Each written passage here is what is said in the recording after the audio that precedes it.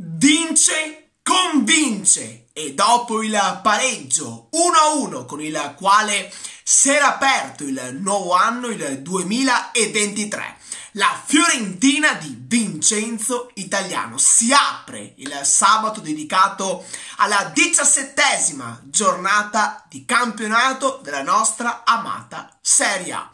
Tra poco meno di un'ora in campo la Juventus di Max Allegri all'Allianz Stadium per la prima davanti ai nostri tifosi in questo 2023 contro l'Udinese di Andrea Sottil. Match da non sottovalutare per poter poi preparare nel migliore dei modi il big match della diciottesima allo stadio Diego Armando Maradona contro il Napoli di Luciano Spalletti. Ma ragazzi, intanto andiamo a parlare di questa prima partita di questo sabato che poi si concluderà a Lu Power Stadium con il match tra il Monza di Raffaele Paladino e l'Inter di Simone Inzaghi che arriva dal successo strappato dai tre punti contro il Napoli, contro la capolista, contro gli azzurri di Luciano Spalletti. Un match spettacolare, un match che ha regalato gol, spettacolo, emozioni, errori, ma anche polemiche arbitrali, con l'arbitro Manganiello, grande protagonista del pomeriggio del Franco. Una vittoria ritrovata dopo il pareggio, come detto, che ha aperto il nuovo anno, il 2023, per la Viola. Un anno che si è aperto con il pareggio contro il Monza di Raffaele Paladino dal gol di Arthur Cabral al pareggio di un altro verde oro Carlos Augusto. Un punto d'oro per la formazione Brianzola per la neopromossa del duo storico Silvio Berlusconi Adriano Galliani un punto invece che ha regalato eh, più eh, insoddisfazioni in casa viola che certezze. Invece questa vittoria strappata nel finale ad una formazione che invece sta vivendo davvero un brutto momento di forma. L'anno sarà concluso nel peggior modo possibile con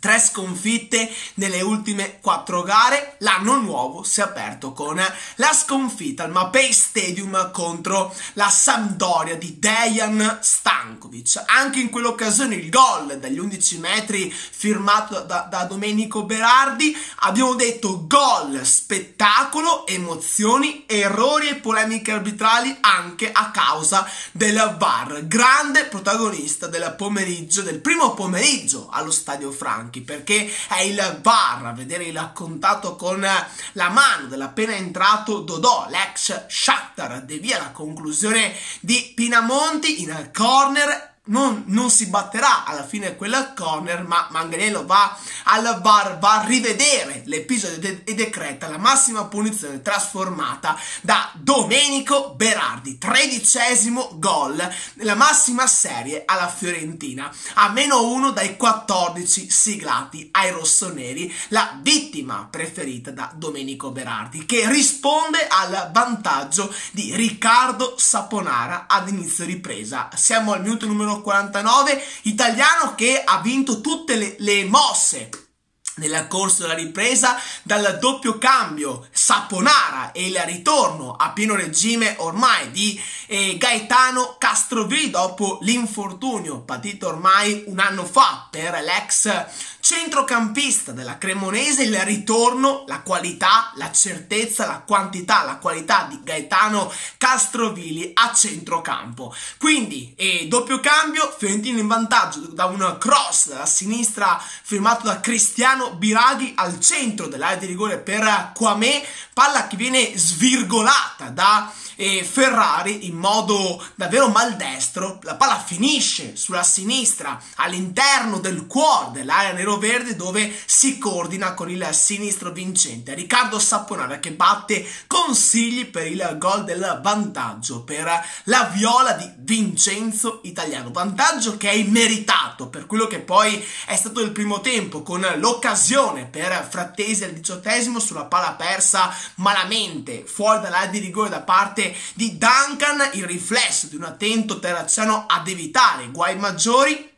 E poi altra chance per i neroverdi, per la formazione di Alessio Dionisi al ventottesimo con la combinazione tra Frattesi e Berardi, palla per Pinamonti per l'ex Inter ed Empoli che non riesce a superare però tu per tu con Terracciano, l'estremo difensore viola. Altra chance per il Sassuolo al 33esimo con il colpo di testa centrale all'interno dell'area di rigore questa volta da parte parte di Rogerio. Quindi è un primo tempo che non regala grandissime occasioni da rete, ma è il Sassuolo a fare la partita. Il vantaggio di Saponare, la risposta Nino Verde con il rigore siglato da Domenico Berardi, altro giro al VAR, altro controllo al VAR al minuto numero 62 per il contatto sospetto da parte di, eh, di Quame sulla conclusione, sulla girata di prima intenzione di Frattesi e poi arriviamo alla chance al, al 66esimo capitata all'interno dell'area di rigore a Cristian Quame. Il finale con la grande chance per Nico Gonzalez, colpo di testa, riflesso di, una, di un attento consigli e poi attenzione, attenzione al minuto numero 88 con la partita che sta per terminare, contatto con la mano da parte di Juan Trensoldi, l'ex gremio, sul tiro non direzionato in porta, quindi ci saranno sicuramente polemiche da parte di Terzic, il tiro di Terzic, il contatto con la mano da parte di Juan Trensoldi per Manganiello che viene richiamato al VAR, non ci sono dubbi, calcio di rigore che viene trasformato dal rientrante Nico Gonzalez che rientrava dopo l'infortunio corso contro l'Inter nel match spettacolare al Franchi lo scorso